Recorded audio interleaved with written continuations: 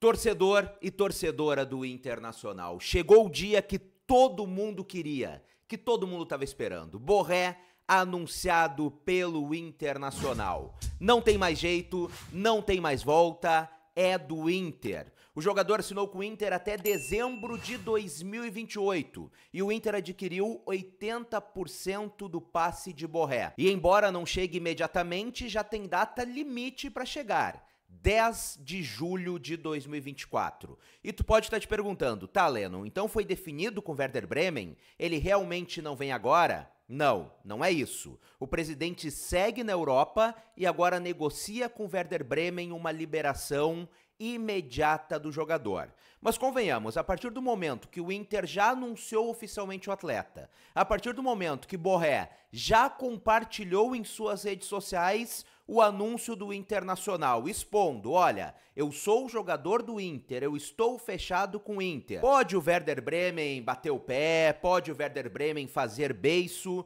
mas sinceramente, acredito que muito dificilmente o Werder conseguirá manter o jogador por lá. Até porque este anúncio do Inter, esses compartilhamentos por parte do Borré, por parte da família do Borré, jogam uma pressão enorme no Werder Bremen. É do tipo, olha, eu tô aqui, mas eu não quero estar. Tá. Eu já tenho um novo time. Eu quero estar lá com meus novos companheiros. Então agora uma pressão muito grande no Werder Bremen. Inicialmente se falou em 2 milhões de euros que o Inter deveria pagar, mas não é este valor. A diretoria do Internacional me afirma que não tem nada de 2 milhões de euros, mas que também não é 300 mil euros como foi falado aqui no Brasil. Não consegui o valor exato, mas me informaram que não é nenhum destes dois valores uh, informados, tanto pela imprensa alemã quanto pela imprensa brasileira. De verdade, agora com o anúncio feito, com o jogador também já anunciando suas redes sociais,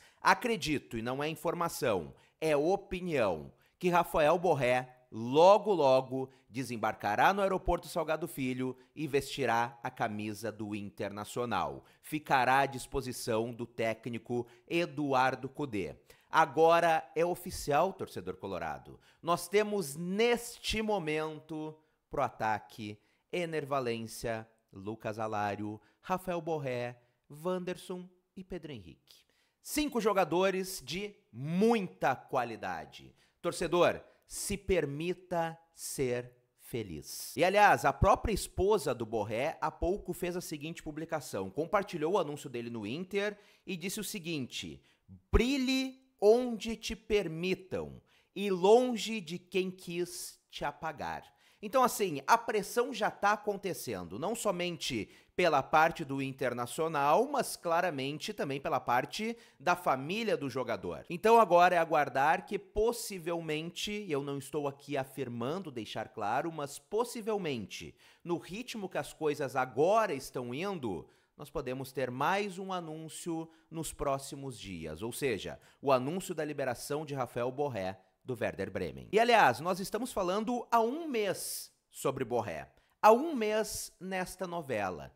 Mas teve uma declaração do presidente do Internacional no programa Bola nas Costas da Rádio Atlântida no dia 19 de junho do ano passado. Ou seja, há seis meses, onde ele já havia falado sobre as situações, sobre o interesse do Inter em Alário e Borré, mas acabou passando despercebido. Afinal, o Inter estava na volta de Ener Valência, o novo jogador, o novo craque colorado, e o torcedor acabou não se atentando à declaração, à revelação de Barcelos, que ele deixou escapar há meio ano atrás. Confere aí. Qual era essa, esse encontro com ele, né? Aquela viagem que, que, que tu fez a foto Isso. com o Arangues. A gente, e depois foi lá, mas... A visitou lá, a gente tratou da, do, do, do, Luiz Adriano, a gente teve um contato com o Shakhtar por, pelo tema do, do Vitão, a gente foi olhar o jogo do Frankfurt também, com o, o jogava lá o Borré e o, e o Alário. A gente foi olhar o jogo do Frankfurt também com o, o jogava lá o Borré e o, e o Alário. E isto, torcedor colorado, se chama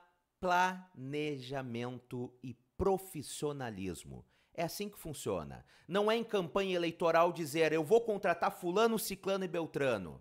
Não é assim que funcionam. Os processos demoram, pelo menos processos por bons jogadores, por jogadores de renome, como são casos de Alário e Borré, os dois contratados pelo Internacional. Se o presidente deu essa declaração no dia 19 de junho, há meio ano, falando de quando foi conversar com o Ener Valência, então este interesse do Inter já tem, na verdade, quase um ano. Faz quase um ano que o Inter tem interesse em Alário e Borré. E com profissionalismo, trabalhando em silêncio e com boa gestão, ambos os jogadores agora são do Internacional. O Inter está montando um grande elenco para disputar títulos grandes neste ano, conforme a grandeza do Internacional, que muita gente nos últimos anos tentou apagar. E antes do término do vídeo, eu te convido a comentar por aqui, torcedor colorado. Agora, com o anúncio oficial, qual o teu sentimento? É alívio? Ainda é apreensão pelo fato do Werder Bremen ainda não ter liberado o jogador? Como tu está te sentindo? Como tá a tua confiança com o Inter neste ano de 2024? Comenta por aqui e vamos trocar aquela ideia bacana. E sempre fica o convite, se tu ainda não é inscrito no canal, clica aqui embaixo em inscrever-se e ativa as notificações no sininho. Um grande abraço, saudações coloradas, até a próxima e tchau, tchau!